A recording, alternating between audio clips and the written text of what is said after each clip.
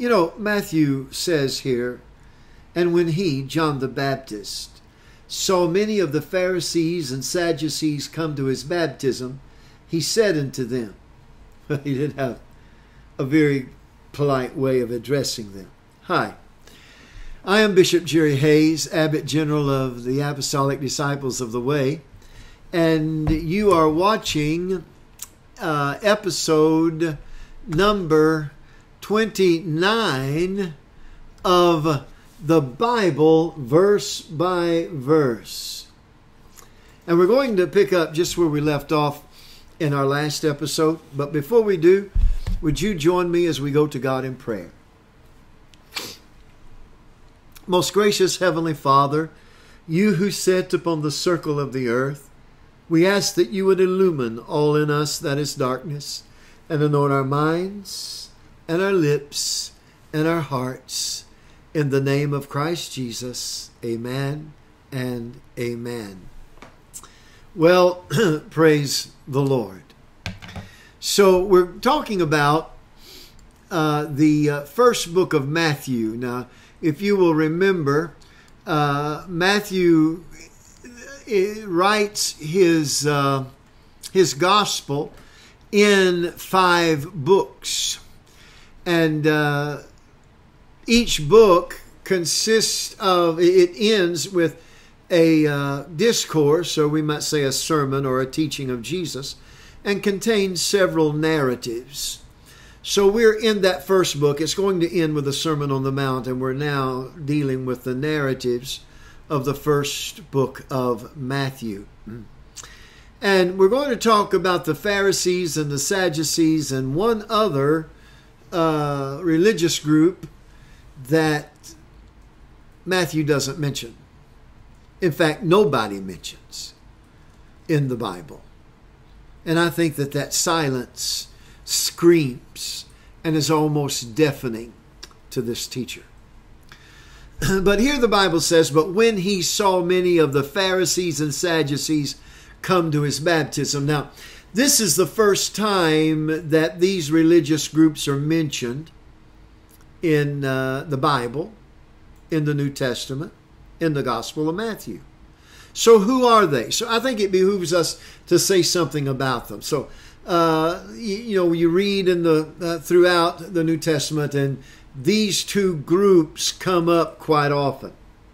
Now, uh, who were the Pharisees first? Well, this group was marked by devotion to the law, both the written law and the oral law. The scribes, who were the lawyers of the day, were mostly of this group. They were very meticulous about the law of Moses. Now, from Matthew chapter 23 and verse 2, we know that they knew the uh, Old Testament scriptures inside and out. From Luke chapter 18 and verse 12, uh, we know that uh, they practiced tithing. Uh, even the smallest things they tithed. When they would go out and collect spices from the countryside, they would tithe. It's like when you go out and collect your blackberries or or your ginseng. Uh, you, you would tithe on that if you were a Pharisee. And by the way, uh, Jesus said, unless our righteousness exceed the righteousness of the Pharisees, we don't have a hope of being saved. Now, Mark uh, chapter 12 and verse 40 informs us that they prayed a lot. They loved to pray. In fact, they loved to be seen praying. Now, now we should not uh, pray to be seen, but we should be seen praying. And then from Matthew chapter 23 and verse 15, we learn that they were, for the most part, hypocritical. Now, Luke tells us in Luke chapter 16 and verse 9 that they were self righteous. And lastly, Matthew records that they were the most zealous at persecuting the Lord. So that's who the Pharisees were. Now, who were the Sadducees? Well, the Sadducees were the priestly aristocratic party that were centered in Jerusalem. The high priest were, was of the, the Sadducees. They accepted only the Torah, that's the first five books of the Bible uh, Genesis, Exodus, Leviticus, Numbers, and Deuteronomy. That's all they accepted as being uh, uh, canonical and as being inspired by God. They denied the bodily resurrection and the existence of angels. Acts chapter 23 and verse 8. They were opposed to the oral traditions observed by the Pharisees. Now, their main interest was the uh, temple apparatus of worship and also collaborating with Rome. They opposed Christ as vigorously as did the Pharisees and were condemned by him as severely, but not as often. Uh, now, eh, there's no wonder that uh, the Pharisees and the Sadducees were addressed by Rome as, O generation of vipers. You know, in, in Matthew chapter 16, verses 1 through 4 and verse 6, the Pharisees, also with the Sadducees, the Bible says, I'm quoting this verse, came tempting, desired him, that's Jesus, that he would show them a sign from heaven. He answered and said unto them, He said to the these two groups, the Pharisees and the Sadducees. When it is evening, you say it will be fair weather, for the sky is red. And in the morning, it will be uh, foul weather uh, today, for the sky is red and lowering. O ye hypocrites, Jesus said.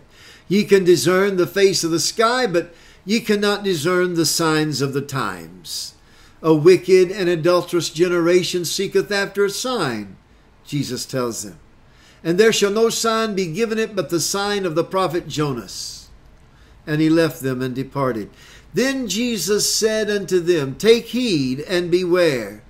When here in verse 6, then Jesus said unto them, that's his apostles, Take heed and beware of the leaven of the Pharisees and the Sadducees.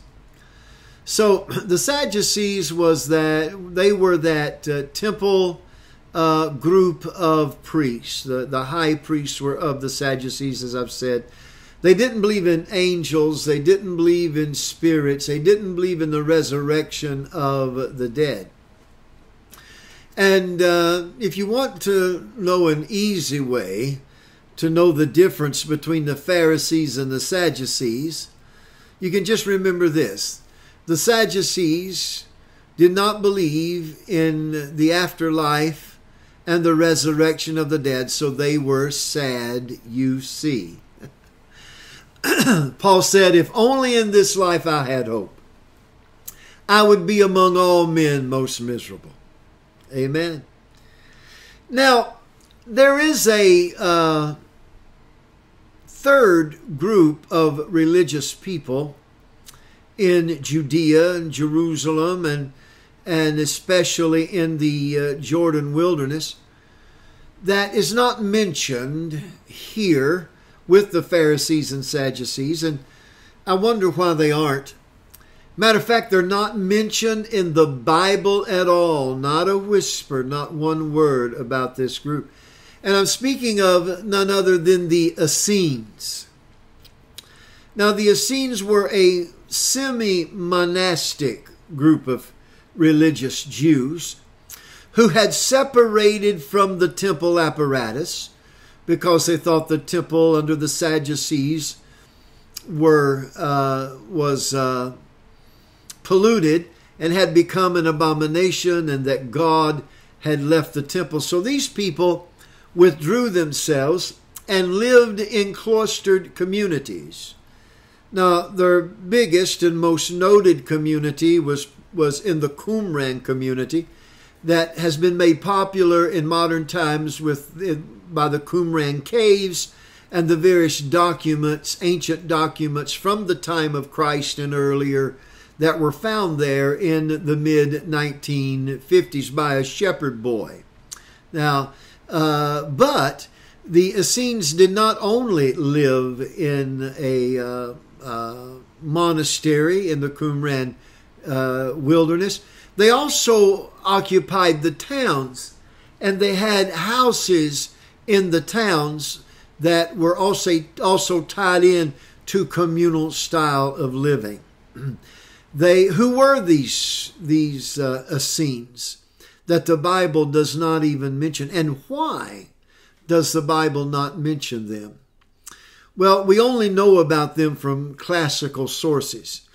The oldest account of the Essenes that we have comes from Philo of Alexandria, 20 BC to 50 AD. Now, he tended to idolize the Essenes and accommodate their ideas and lives for his Greek readers.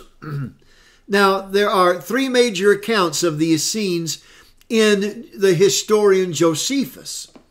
Josephus also pointed to the features in the Essenes that would appeal to the Greeks. He compared the Essenes to uh, Pythagoras, the Pharisees to the Stoics, and the Sadducees to the Epicureans. Now, again, when any uh, secular historian talks about the religious groups that were in and around Jerusalem, Judea, in the time of Christ and the apostles, they all mention the Essenes, but the New Testament writers do not mention them. And to me, this is a silence that just screams. And the question has to be asked, I think, why? The elder Pliny, a Latin writer who accompanied Titus in the war against the Jews, briefly mentions the Essenes in his natural history. Now, what do we know about their founding, about their establishment? Essene literature refers to a lawgiver who encouraged communal living. And perhaps this is the teacher of righteousness himself that Essene literature references so much. Now, references to the Essenes begin in the Maccabean governorship of Jonathan in 160 to 143 BC. Now, individual Essenes are mentioned occasionally. Judas in the reign of Aristobulus, 104 to 103 BC. Uh, they predicted the day and the place of the death of Antigonus. A uh, Menahem, Essene by the name of Menahem, greeted Herod as the future king when Herod was still yet a boy. So consequently, then, Herod had a high regard for them. Another Essene named Simon interpreted a dream of uh, Archelaus in uh, AD 6. Now, their location is this Pliny locates a community of Essenes on the shore of the Dead Sea, and, and surely that's the community that uh, uh, wrote and preserved the writings that we now have, uh, just north of En and Masada. But other Essenes, as, I've already said, lived in towns and villages and had an open house policy for traveling Essenes. Now, there were apparently different orders of the sex. Josephus refers to the customs of one order of the Essenes. Now, uh, Essenes for the most part, were celibate and men, but they did have orders that had families and uh, encouraged marriage in order to uh, propagate uh, the race. Now, they had certain characteristics. Admission required a postulant to live outside the camp for a year with minimum provisions and follow the rules of discipline. Now, if he remained faithful, he could draw near to the purification water and this is another thing, they were real big on washings of water. Then, after two more years as a novitiate, he could take the oath and join the common meal, which is another interesting thing. They they taught and believed that uh, you uh, were received into their community through fellowshipping at a common meal. Remember the importance of the washing of water and the common meal. Now, I am asking why that uh, the writers of the New Testament, none of the apostles of their circuits mention the Essenes. Now, the Essenes were ascetic. That mean that they had a very uh, restrictive lifestyle. Essenes held all things common. Uh, none of them had personal property. They all shared the wealth of the community. The Essene orders differed on, as I've said, on marriage and children. Uh, the Essenes did uh, virtuous deeds because this was their idea. Then their righteousness was incomparable. Because of their belief in the immorality of the soul, they engaged in virtue for the hope of reward and the fear of immortal punishment. Now, a good portion of their time was spent repeating a vow, which was said before eating as a constant reminder of their dogma. They vowed piety to God, justice to man, hatred of the wicked, and love for the just. They also promised to love the brethren, love truth, conceal nothing from one another, and reveal nothing to outsiders. Now, the Essenes observed strict religious orders. They functioned as scribes and prophets, studying and preserving the scriptures, the books of their sect. Uh, they worshiped in obedience to the law. There was daily instructions, uh, except on the Holy Sabbath. During instruction, they set in order, one man reading, one elder explaining, usually by symbols and allegories and uh, they were in disagreement over the sacrificial system in Jerusalem, either because of the priesthood or the calendar. They followed the solar calendar of Jubilees instead of the lunar calendar. Uh, they sent offerings to the temple, but no sacrifice. They made the sacrifices to God among themselves since their customs of purification were different. Their purifications were strict. They washed in cold water for purity. But understanding and, and interestingly, I should say, oil to them was a defilement and uh, it necessitated washing. Hippolytus states that they believed in the resurrection of the body. Now, according to the classical writers, then, the Essenes were ascetic, they were semi monastic Jews who separated themselves from the pagan world to pursue a life of virtue, which they believed was not possible apart from this from the seclusion of their fellowship. Being conscious of evil, they engaged in purification, instruction, communal meals instituted by the priest, and their own sacrifices. And it was a hierarchical system based on love and obedience. Now, I probably will not be saying a lot about these Essenes from here on in, but I must say this. It is interesting that John the Baptist came preaching out of the very vicinity that was the Essene stronghold. It's further interesting that the Essenes had separated from the temple because they felt that the temple apparatus had forsaken uh, truth. It is interesting that John is a priest, but he was in the Judean wilderness in the in the area of the Essenes throughout his young adulthood. The Bible says until his showing unto Israel, until he came preaching. Uh, it's interesting that the Essenes' uh, infatuation with washing uh, and John came baptizing. It's interesting in the Essene receiving people into their community through a common meal and what later uh, Jesus instituted as the uh, Lord's Supper or the Eucharist. I want to ask this question and then I'm going to leave it with you, beloved. Could it be, is it possible that John the Baptist, even Jesus and, and, and the apostles and those early Christians were in some way connected with the Essenes? Could that be the reason that we don't find them mentioned in the New Testament?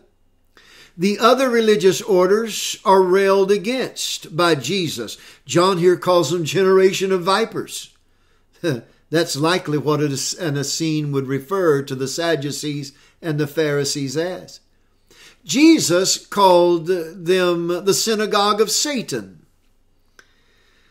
Uh, could it be then that Christianity with Jesus and John actually has some roots in the Essene community? Things that make us go, hmm. Let's pray. Our gracious Heavenly Father, which art in heaven, hallowed be thy name. Thy kingdom come, thy will be done in earth as it is in heaven. Give us this day our daily bread, and forgive us our debts as we forgive our debtors. And lead us not into temptation, but deliver us from evil. For thine is the kingdom, and the power, and the glory forever. Amen. Now, beloved, it's my prayer that the very God of peace sanctify you wholly and I pray, God, that your whole spirit, soul, and body be preserved blameless unto the coming of our Lord Jesus Christ. Amen and amen.